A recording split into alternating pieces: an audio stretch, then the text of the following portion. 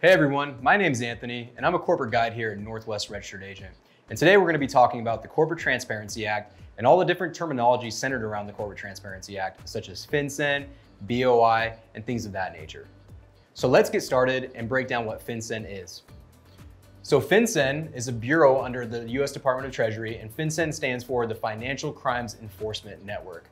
So you business owners out there, you're gonna be required to file a BOI report, which will then go to FinCEN. So let's break down what the BOI report is a little further. So the BOI report is the Beneficial Ownership Information Report, and there's a couple buckets on when you have to file this report. If you form your company prior to January 1st, 2024, you will have until January 1st, 2025 to file that report, which will then be sent to FinCEN. If you form your company after January 1st, 2024, you will have 30 days after the formation of that company to file that report, which is then sent to FinCEN. So we're talking about beneficial ownership. Let's dive a little deeper on defining what a beneficial owner is.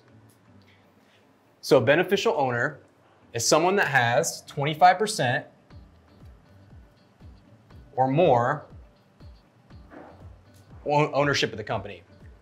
It can also be defined as someone that has substantial control. So let's dive a little deeper and look at what substantial control is.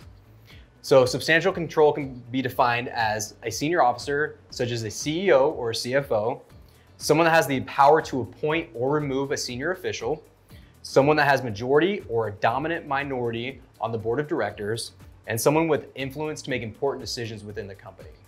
Along with the beneficial ownership, there are some exemptions to who can be a beneficial owner. So let's take a look at that now.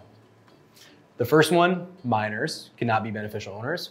Um, employees that are not senior officers, someone acting as the agent of the beneficial owner, someone that has the right to inheritance of the company, and then creditors.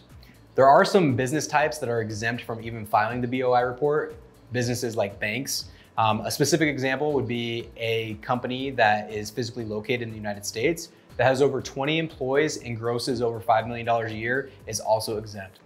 For a full list of exemptions, go ahead and click on that link below and check it out. Now let's talk about the information that actually goes into the report. So the first thing on the BOI report is gonna be the legal name of the person filing the report, the date of birth, the residential address, and then a photo ID with a number on that ID. So a driver's license, a passport, a state ID card. This information does not go public record, so you can rest assured that your privacy is maintained. If you found today's video helpful, be sure to like it and subscribe to our page. And remember to call Northwest when you want more.